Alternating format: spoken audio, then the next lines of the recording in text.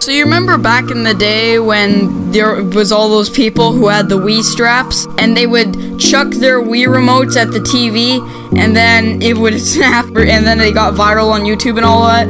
Well, yeah, those things were not very good straps. They are apparently 3.2 million fragile wrist straps were made. So, RIP TVs. But here's a bit of um, another problem. So Nintendo's latest console, the Nintendo Switch, also has these little Joy-Con things that have straps.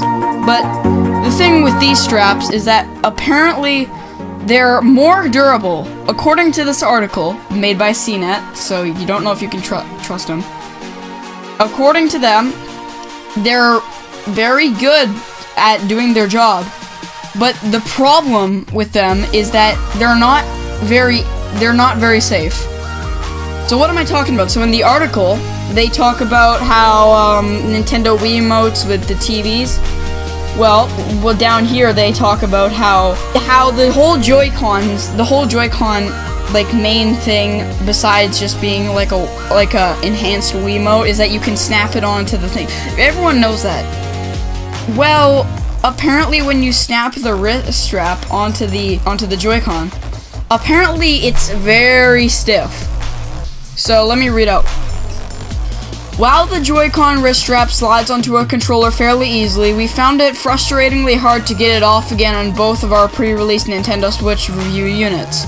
It's a struggle and it can break apart suddenly with a lot of force if you pull hard. And then um, they talk about how they even cut their nail doing it. So, um, yeah. So, is this a big deal?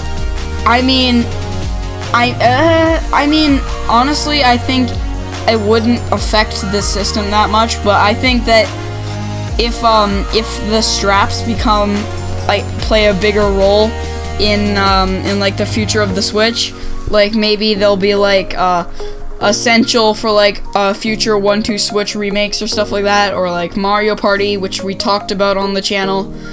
Maybe like that, maybe like it'll become essential and then it'll and then it'll actually affect the system. But I don't see it doing too much damage. But then again, what we saw with the Wii, remember that? Just snapped in half. Like, like here, I'm gonna play a clip. Yeah, that clip's real. So if that happens to the Switch, you're gonna just chuck your tablet away or stuff like that, and then your Joy-Con will just snap in half. So, and if these things are as weak as they say, then um, that may also hurt it.